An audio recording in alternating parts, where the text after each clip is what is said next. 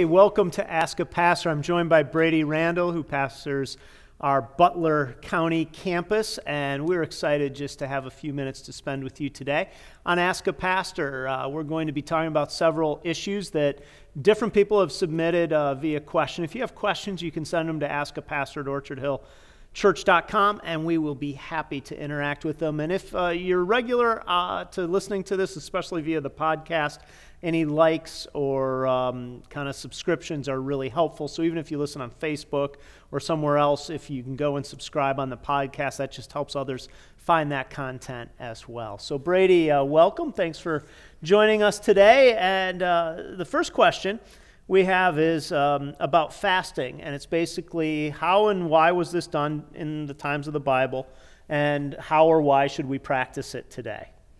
Yeah, and that's sort of an interesting question coming out of Lent. Many Christians around the world sort of celebrate that. a lot of people fast or give up something. and while it's not a direct command in Scripture, from my understanding, um, Jesus seemed to assume that his followers would fast. Uh, when he talks in the Sermon on the Mount in Matthew 6, he says, When you fast, as if there's an understanding that will be a part of a follower of Jesus. Um, and he said, was when you fast, don't be like the hypocrites who make it plain that they're, they're fasting and their faces look like it, but you know, go and do it in secret, and your Father who sees what is done will reward you. And uh, there's, there's a lot of instances with people in Scripture uh, fasting. Um, oftentimes it was for preparing for a certain season or ministry.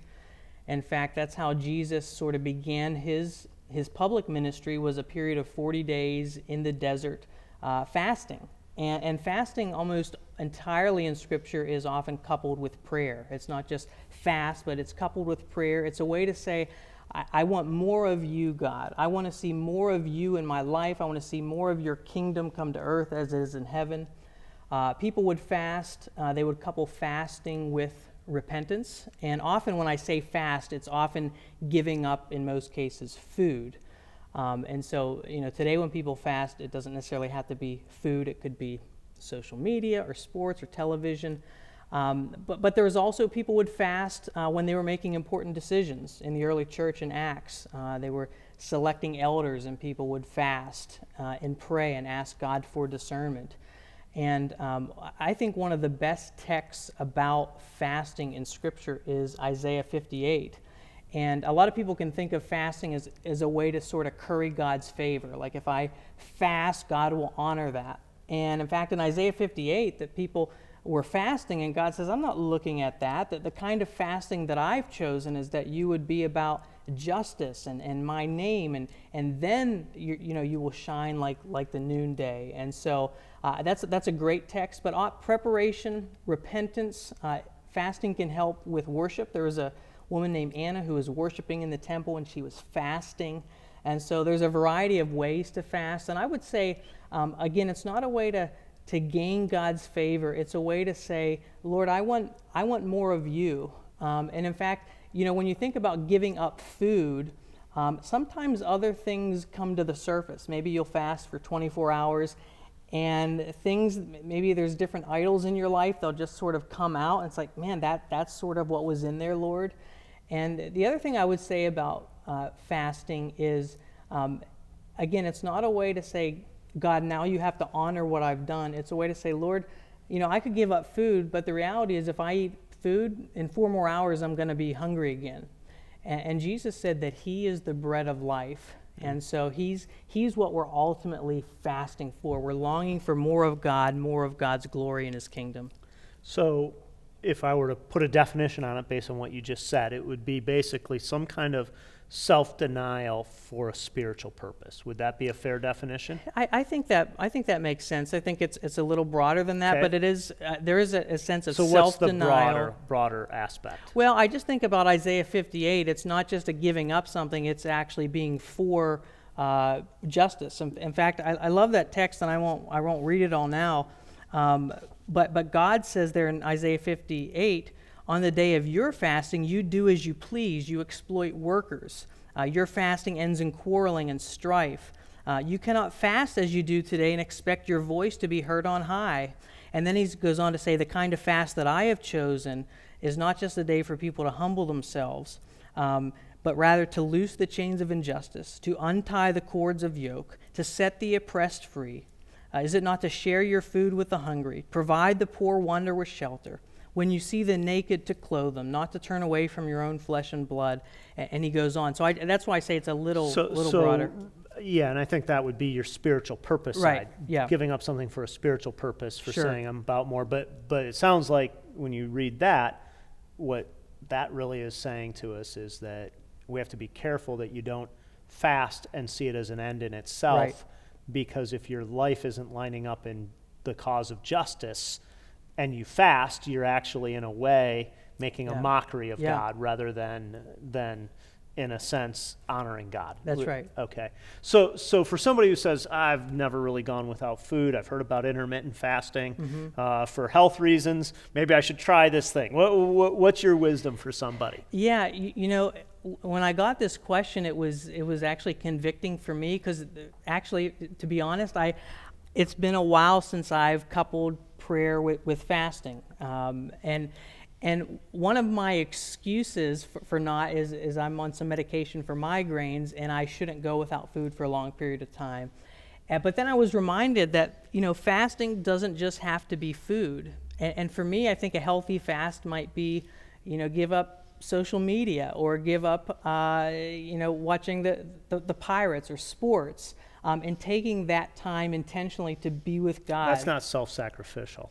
Come on, It- it- you don't know who you're talking to here. I do. I Uh, just, I'm just so- playing. Um, no, so, so yeah, you know, it's interesting. I, I hear that and I agree with it. I also think that sometimes the Christian community can be quick to say, "Let me sub other things for the the technical definition of foregoing food," mm-hmm.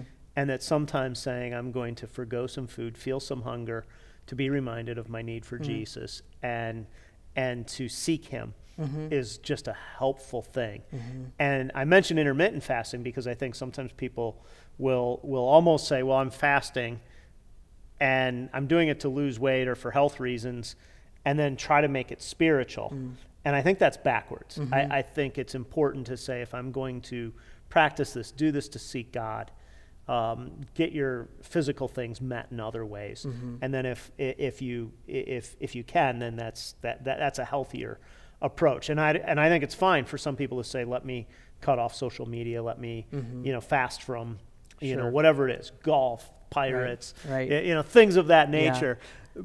But but but I think that the, the real key, as I've watched this, is saying, I need to break from something that I normally do, and deny myself in some sense, in order to seek God. Mm-hmm. And and it's if I don't seek God in it, Yeah. then the denial hasn't been complete. Mm-hmm. And and if I seek God while still doing everything else, then I haven't practiced fasting. Mm-hmm. I've just sought God, which is a good thing. Sure. Um, but but there's something that happens when you put those things together that God almost multiplies your your seeking of Him, and I think that's the point of Yeah. people saying in seasons of peak discernment, um, have I done this in order to say I want to make sure that my my brain is as as as um, able as possible to discern the voice of God or the direction of God in, Yeah. in something that I'm doing. So Yeah. so yeah, thanks. Um, so uh, a a second question is uh, about communion. It says, "Is close, closed communion a biblical idea?" And uh, probably what what's in view here, if you're not familiar with the idea of closed or open communion, is some churches practice what's called closed communion, meaning only members of that church can take communion. So if you've ever been to, say, a Catholic Mass and you're not Catholic, um, the Catholic Church generally practices closed communion, meaning if you're not a Catholic, they say, We're glad you're here, but don't come partake of this sacrament in this church because this isn't your faith that you own. Other churches practice open communion, meaning you don't have to be a member of the church. They just say, if you're a follower of Jesus, come and partake. So, so, so help us understand just a little bit about this idea of closed or open communion in terms of a biblical rationale.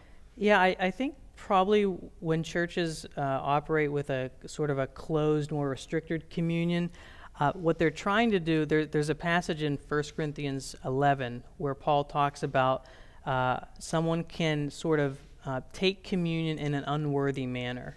And uh, I think oftentimes churches that, that celebrate a, a closed communion, they want to make sure people are in good standing, sort of not eating and drinking judgment on themselves. They want to sort of protect uh, the sacrament that Jesus said to offer, and so they restrict it so that there's not a lot of maybe hypocrisy or that they think that they're actually helping protect someone from eating um, in an unworthy manner. Mm-hmm. And if you, if you read 1 Corinthians 11. Uh, it's sort of an interesting passage where some people are getting sick, some people are dying as, as mm-hmm. a result of, of, that, and that's a whole nother, you know, got to get into that context. But that's a pretty serious thing that Paul talks about in it churches.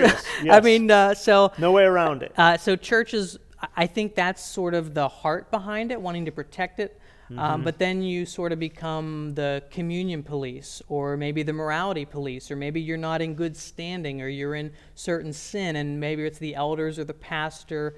Um, it, it, can become a little bit selective, and I think that's where maybe some of the, the problem could lie with that. But I think the heart behind it is to say we want to honor this sacrament, we want to make sure people are not drinking and eating in an unworthy manner. Right. Well, one of the ways I've heard it explained is is it's wise to fence the table, mm-hmm. meaning to say here are some of the parameters. um, if you're in a church context that takes communion on a fairly regular basis, it's hard to say the same thing every single time you step up and you know put five minutes of caveat and fence around it. Mm-hmm. Uh, um, and so sometimes you know maybe you state it really clearly. Sometimes it's a little less clear or fully stated. But I think the concept of saying, hey, here's who this is for, mm-hmm. and don't come do this if it isn't for you, mm-hmm. is a healthy concept. Mm-hmm. Um, and, and, and at the same time, I, I, like what you said about you want to be careful you don't become the morality police. It seems mm-hmm. like in a lot of churches that what happens is there are there are sins that are known and obvious that, mm. that the church will take a stand on and say, well, mm-hmm. you can't take communion, you can't be in membership, you can't be in leadership if these things are true. And then there are a whole host of sins that, that it's like, well, nobody really talks about it or makes a deal of it. Mm-hmm. Uh, one of the things I've, I've probably said at different times is, is in American culture, rarely do, do people in the church call out other Christians for consumerism or greed. Mm-hmm. Um, we just assume that it's the American way of life and that the only person who's greedy is somebody who might have more than me, mm-hmm. but it can't possibly be me. Mm-hmm. Um, and, uh, and so, you know, like with communion, people may say, well, if you're going through Acts, you can't come to take communion. But greedy people, we're all good. Mm. Um, and, and that's where you run into mm-hmm. danger. Now, the flip side of that is as soon as you start saying, well, because we don't call out one thing, we're not going to call out the other. Mm-hmm. Um, that that also can be its own self-defeating thing because then you never say anything about anything mm-hmm. if that's your rationale. But but but there's a I've been able to sleep really well at night as a pastor, saying my job is to explain it and then to let people make their decision. Mm-hmm. Um, mm-hmm. That it isn't my job necessarily to stand there and go yes, no, yes, no. Mm-hmm. My job is to say here it is, and if you feel right before God, then you can come. If not, um, then you, you, know you should take precautions. Yeah. That, that to me feels like it's a sufficient enough mm-hmm. thing. So, yeah. so yeah, yeah, good. Um, so the last question here, Brady, is, um, and this is from student in our student ministry. They asked several of the students just for questions that they'd be interested in. Uh, it was help us understand the Trinity. Wow. So, uh, so, so, so let's hear you, uh, you know, in just a couple minutes, explain the yeah. Trinity in succinct and compelling form. Wow. Well, these students are in good standing with uh, Christians and theologians across the ages. I mean, this is this has been a controversial topic in the church. This has led to different heresies in the church. This has led to really wise, godly men and women coming together in councils, trying to understand what is the truthfulness of Scripture, what is being said, and how do we understand it? Um, how does our how does our does it transcend reason? Maybe not irrational, but does it go beyond uh, just logic and reason? And I think what, what people have said is that in Scripture, um, there's a, a theme throughout Scripture that God is one. In fact, Deuteronomy 6 it talks about God being one, and then you yet you read about uh, you know Father, Son, Holy Spirit. You you see that the Father is not the Son, the Son is not the Father, the Holy Spirit is not the Father, and yet the Holy Spirit is considered divine, a divine person, a divine being. Jesus says the Father and I are one, and yet they're distinct. And so while you don't see the term Trinity in the scriptures, the concept of God being one, and they've it's hard to, to describe what one what one um, one essence, uh, but three distinct persons. And, and by that we mean God is one substance. All right, all right. So hold on. let, let, let, me. I know you're about to get to the good part yeah, of it, but yeah. hang on. So uh, I just had flashbacks to seminary there. So so you have a three-year-old son, right? Nash yeah, is yeah, three. Yeah, yeah. All right. So so fast forward two years. Imagine Nash is five, Yeah. and he says, "Dad, explain the Trinity to me." Uh, Let, us back off the seminary Okay. and give it to me like I'm five-year-old right. Nash. Well, here's the thing. I've, I've heard some analogies that help you sort of understand it, but they're also heretical at the same time. Like I've heard people say, you know, the Trinity is sort of like water, right? It can be mm-hmm. liquid, gas, and ice. I was like, okay, that's three different things, but but the Trinity is not different modes. I, I've mm-hmm. heard some people say the Trinity is like you know like a person. A person is a father and an uncle and a brother. Mm-hmm. Well, that's I would say bordering on heresy because the, the it's not like God puts on different masks. Um, one such analogy that I think is helpful, maybe you can help if this is if this is helpful. Um, a man named Augustine came up with the analogy of, of sort of the mind being it's it's the will and understanding and reason. Um, I, I don't know what you do with that. Um, people have talked about the analogy of like a three-leaf clover, like a stem and the leaves. And here's here's how the best sort of way that I've sort of wrapped my mind around it. And maybe this is above a five-year-old, um, but if you think of the idea of marriage, um, two people becoming one. Now that's sort of mysterious, but you you can understand that from a physical standpoint, kind of coming together or in one accord. And so um, I think that's helpful in seeing how two distinct people can sort of be one coherent unit while being totally distinct at the same time. Th- The marriage analogy helps me get my, mm-hmm. my head around it. Have you heard any like mm-hmm. really solid analogies where you'd say this is really, mm-hmm. like I said, water? That's understandable, but that's I think can be heretical too. Um, have you heard any really yeah, well, good? I've heard people use the pretzel. You know, if it's got three things. Okay. Uh, uh, you know, I think the analogies, as you said, they all have some danger because if they're taken too far, um, like the idea of water, you end up with, to use a seminary word, modalism, um, where you have three different modes of God um, that he acts in, um, rather than it's one God always the same as you know you said distinct in three persons. You know if i were, were to try to explain it to to a five year old or so, somebody who's who's really new to thinking about faith probably the first thing i would do is say this probably isn't fully understandable even by somebody who's who's been around a long time studied a lot in that in that you probably don't want a God that you can completely explain and categorize because that probably defeats the whole definition or point of a God that would be worthy of worship. But having said that, I would say that, that God the Father is, is, the, um, is the one who controls and is sovereign over everything. Certainly, that doesn't mean that Jesus or the Holy Spirit are not, mm-hmm. because that's where you get into mm-hmm. modalism mm-hmm. or you know different persons. Jesus became the tangible physical expression of God. Um, again, not that the others are not expressions of God, but uh, you know Hebrews one tells us that He's the exact representation. That that that's how you get a window into who God is. This is what helps us get our hand around it. And then the Spirit is the abiding presence, the ongoing presence of God, and that and that you need all three to have a full picture, and yet all three are distinct. Um, and, and so, you know, is there a good analogy? Um, you know, you, you use the analogy of marriage. I think if you just think about a person, again, to a five year old, and to say, you know, you as a dad, to say, well, I, as your dad, sometimes I'm your dad, sometimes I'm Susan's husband, sometimes I'm the pastor of Orchard Hill, Butler County, and I'm always all of those, um, and all of those matter. Yeah. Um, and I'm not not one when I'm the other Right. but I function in all three realms. Um, that's close, but it still leaves you a little empty. And again, I'd go back to why we can't fully understand that. And probably, again, if I could fully understand God, um, there would be a piece of me that would say, okay, then there's no mystery, nothing to, to, Yeah. to worship or ponder.